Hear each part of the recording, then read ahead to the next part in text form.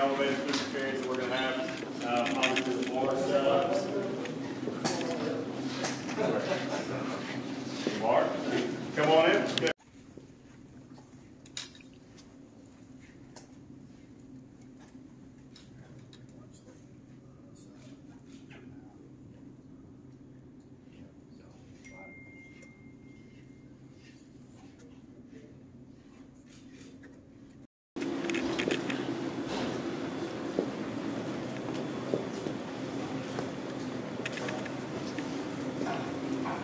Somebody's gotta try some food. There's also some water here for you guys. You gotta be thirsty, it's on both sides.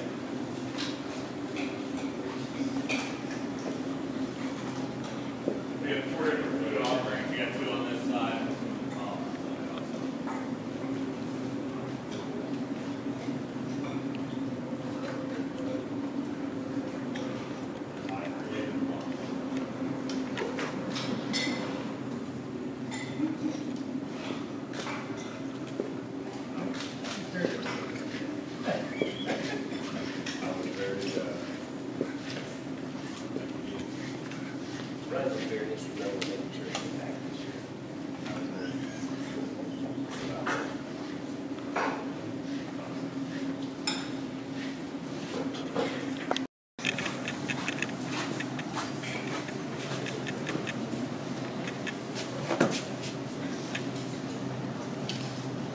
Excited about this.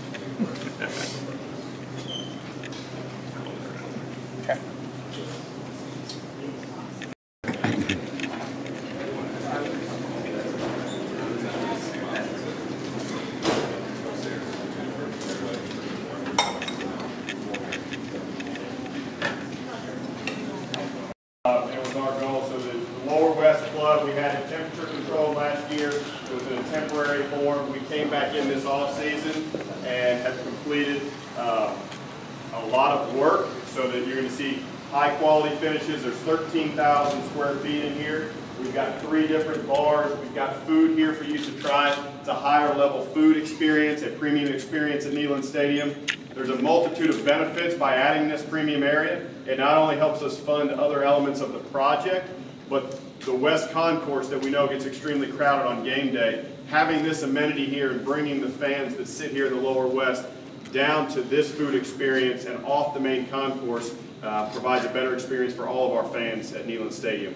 Uh, so this is, again, 13,000 square feet, temperature controlled, best seats in the house. Yeah, absolutely. So we launched a, uh, a five-year plan, $337 million renovation to what we think is the cathedral of college football, Neyland Stadium. Um, and so we're in year two uh, of five years of, of trying to deliver different amenities and products uh, for our fans, improving our fan experience uh, each offseason. So this year, uh, what we're really excited about is the implementation of Wi-Fi. Um, we are ahead of schedule. We had announced that it was going to be a partial uh, completion at the end of this season. Uh, it looks like we're, we're ahead of schedule, but we're not going to be able to complete that until the end of this year. Uh, but going into game one, we're confident in uh, all of our gates, our plazas, all of our lower bowl seating, as well as concourse one. And then we're going to work between each game in hopes to have a full configured Wi-Fi deployment. Um, by our fifth game of the season. So the, the Neyland Stadium Wi-Fi project at, at, its completion will be the largest deployment of Wi-Fi at any stadium within the United States. So 100, there's currently 111 miles of cabling uh, throughout the stadium. We think by the end of the project we'll have over 150 miles of cabling. Um, there's 33 miles of conduit and fiber uh, throughout the stadium.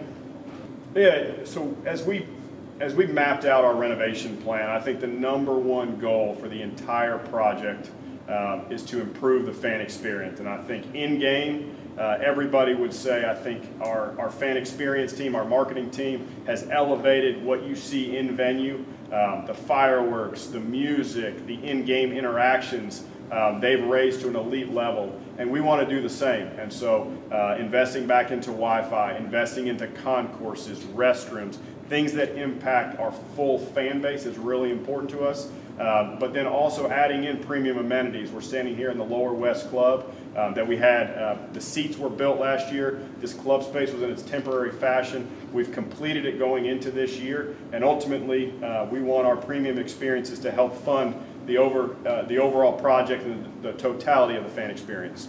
Yeah, so the and still from from day one, our, the number one and largest element of uh, our current renovation is expanding the South Concourse, uh, adding a kitchen and commissary uh, that we do not have any uh, currently in Neyland Stadium, and so that will be delivered in the 2025 season. We've done a lot of work. Um, doing demolition on the old dorm levels one, two, three, and four this off season. We've expanded and done some concrete and steel pours um, to expand the concourse, um, and we'll do work throughout this full off season and going into next off season to ultimately deliver a concourse that's 36 feet wide. That's currently 12. So um, you know, the expansion of that concourse is really going to improve the fan experience, provide more amenities uh, and concessions and restrooms for our fans. And that is ultimately uh, partially uh, behind the student section, uh, but also uh, that southwest plaza area and the seat and the seats in that, that corridor. The, the students are going to have um, a temporary entry for, for this year. Um, ultimately, the construction that we're doing in the southeast corridor is going to improve our student entry. Uh, so to expand the concourses where the students used to enter and come up from ground level or Tee Martin Drive, uh, we had to tear out those scissor ramps. So we're building a temporary ramp for them to enter from the southwest this year. Um, we want to provide our, stu- our students are the core mission of why we're here in, in higher education at this university. And so um, we want to continue to provide them a private entry. Um, there's 11,000 of them. Uh, that's a large number of a population coming to one sector of the stadium. Uh, so we wanted we wanted to build a plan that provided them that same private entry like they've had for previous seasons. So we'll be up in the southwest corridor right off Phillip Fulmer for this season, and then ultimately moving back to the southeast uh, next season. So I think this is um, the Lower West Club build out is probably the most unique club space of any historic venue in college football. Uh, we took inspiration from some of the newer NFL stadiums and providing a club and premium experience close to the field was our goal. Um, so we have, last year we implemented the 22 inch seats, um, the gray seats with the power tee. We excavated uh, and, and ultimately built a 13,000 square foot club, has a high end three bars. Uh, we have a premium food experience and private restrooms and temperature control.